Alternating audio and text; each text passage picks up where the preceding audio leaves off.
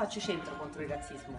Nomino Arianna Enrico, Rocco Papaleo e Valentina Dirf a partecipare a Twitter of Razzism.